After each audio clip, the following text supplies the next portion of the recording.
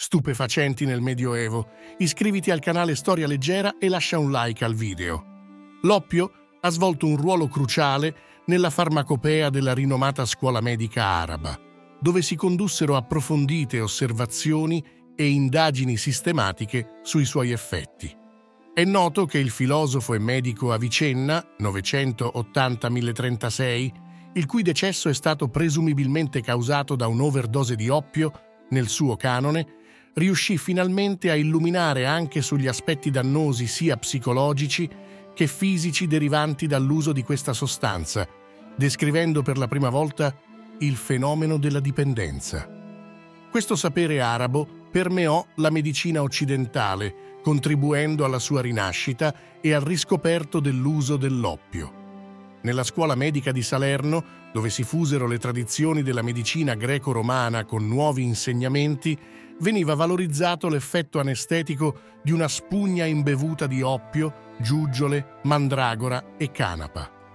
Alla fine del Medioevo, con la diffusione di rituali magici e pratiche collettive, l'uso di miscele vegetali con proprietà psicotrope divenne comune. Queste miscele, denominate unguenti delle streghe, venivano utilizzate per partecipare ai sabba e indurre uno stato di totale anestesia, accompagnato da deliri tossici ed allucinazioni.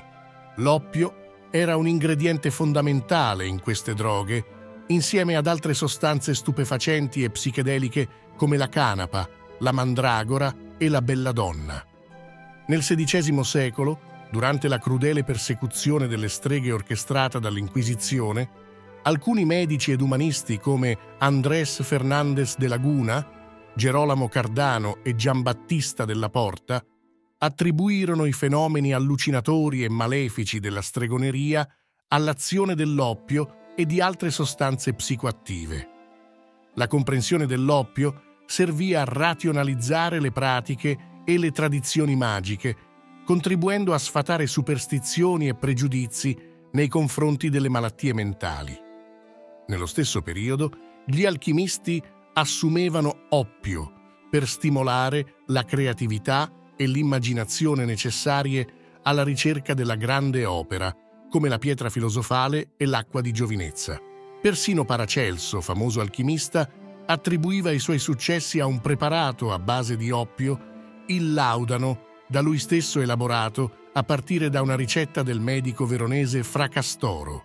Io possiedo un farmaco arcano che è superiore a ogni cosa mortale.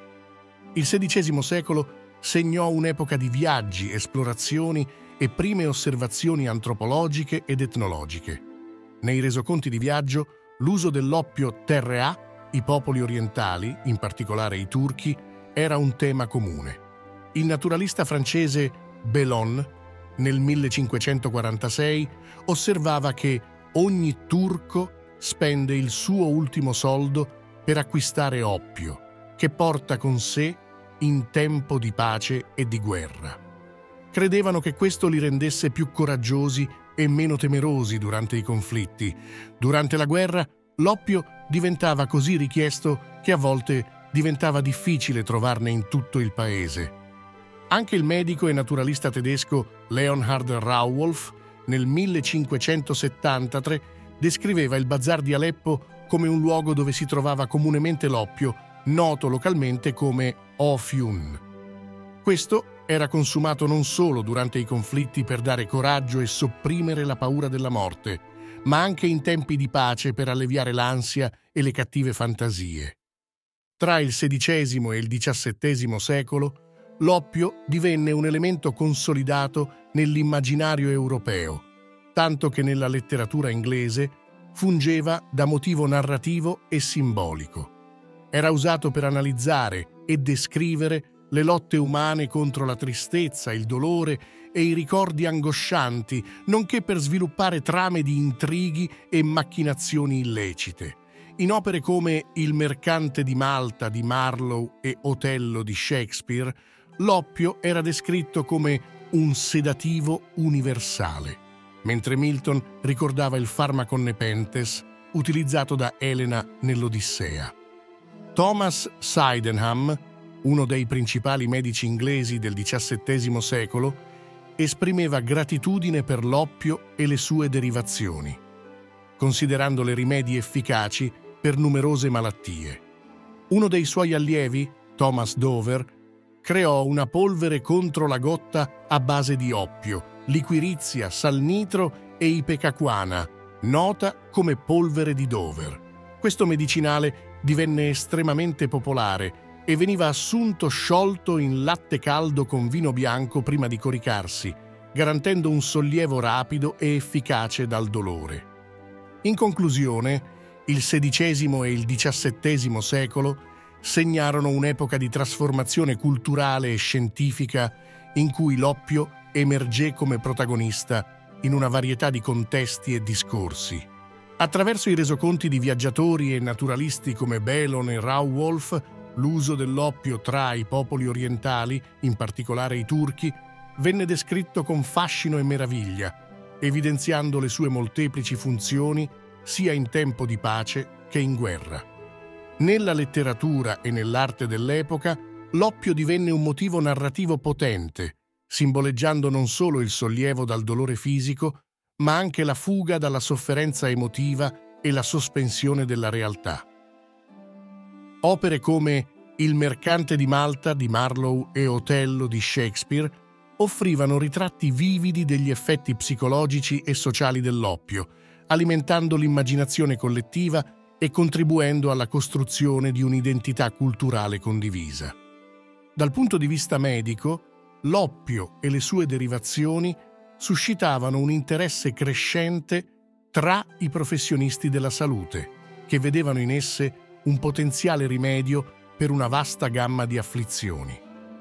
Thomas Sydenham e altri medici del tempo lodavano le virtù terapeutiche dell'oppio e sviluppavano nuove formulazioni farmacologiche, come la polvere di Dover, destinata a diventare uno dei trattamenti più diffusi del XVII secolo. In questo contesto di esplorazione e scoperta, l'oppio divenne un simbolo complesso e contraddittorio, riflesso delle ambiguità e delle contraddizioni della società del tempo. La sua storia rappresenta un capitolo importante nella comprensione dell'interazione tra cultura, scienza e potere nel Rinascimento e nel Barocco, continuando a suscitare riflessioni e dibattiti ancora oggi. La storia dell'oppio nei secoli XVI e XVII ci offre una riflessione profonda sull'interconnessione tra cultura, scienza e società e ci invita a considerare le molteplici sfaccettature delle sostanze psicoattive e il loro impatto su di noi. Questo capitolo della storia umana ci insegna che le sostanze come l'oppio non possono essere comprese semplicemente in termini di bene o male, ma piuttosto come fenomeni complessi che richiedono una valutazione attenta e multidimensionale. Da un lato, vediamo che l'oppio ha svolto un ruolo significativo nel trattamento del dolore e di altre condizioni mediche, offrendo sollievo e conforto a coloro che ne hanno sofferto. Le scoperte e le formulazioni farmacologiche sviluppate da medici come Thomas Sydenham hanno dimostrato il potenziale terapeutico di questa sostanza, contribuendo così al progresso della medicina dell'epoca. Dall'altro lato, però, osserviamo anche gigli effetti negativi dell'oppio sull'individuo e sulla società. L'abuso e la dipendenza da questa sostanza hanno portato a gravi conseguenze per la salute fisica e mentale di coloro che ne facevano uso e hanno alimentato problemi sociali come la criminalità e l'instabilità. Questa complessità ci spinge a adottare un approccio più completo e umanistico alla questione delle sostanze psicoattive. Dobbiamo riconoscere che le droghe non sono semplicemente un problema da eliminare, ma piuttosto una realtà complessa da affrontare con empatia, comprensione e un approccio basato sulla scienza e sulla salute pubblica. Inoltre, la storia dell'oppio CI ricorda l'importanza di considerare il contesto storico, culturale e sociale in cui le sostanze vengono consumate e regolamentate. Le politiche e le leggi riguardanti le droghe dovrebbero essere informate da una comprensione approfondita di queste dinamiche e mirare a bilanciare la protezione della salute pubblica con il rispetto dei diritti individuali e delle libertà personali.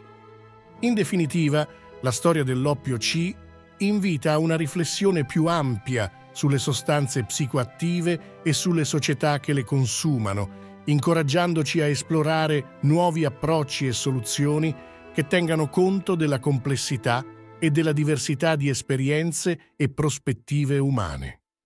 Iscriviti al canale Storia Leggera e lascia un like al video.